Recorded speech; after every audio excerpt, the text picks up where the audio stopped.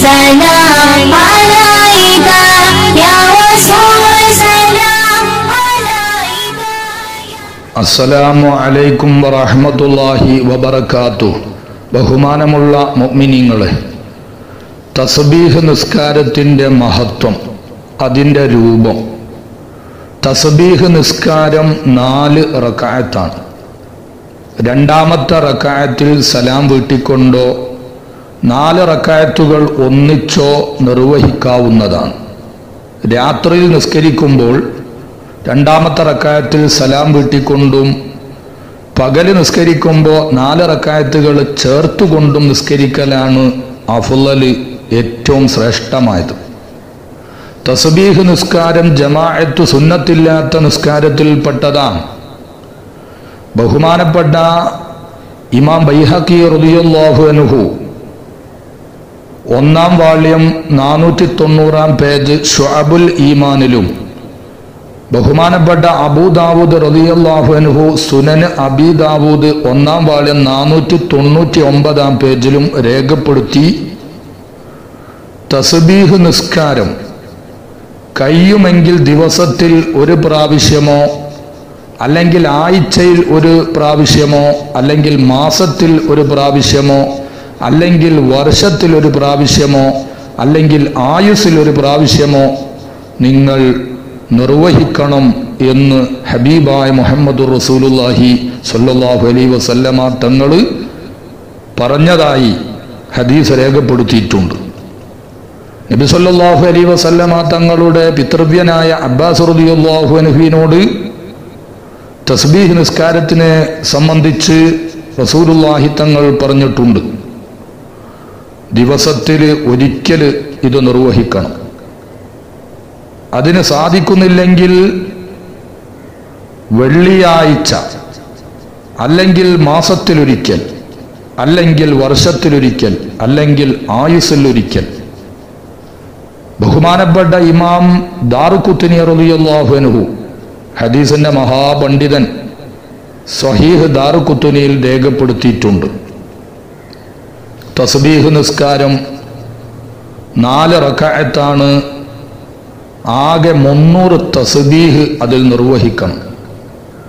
സുബഹാനല്ലാഹി വൽഹംദുലില്ലാഹി വലാ ഇലാഹ ഇല്ലല്ലാഹു അല്ലാഹു അക്ബർ. ഇതാണ് തസ്ബീഹ്. തസ്ബീഹുള്ള നിസ്കാരമായതുകൊണ്ടാണ് തസ്ബീഹ് നിസ്കാരം എന്ന് ഈ നിസ്കാരത്തിന് പേര് വന്നത്.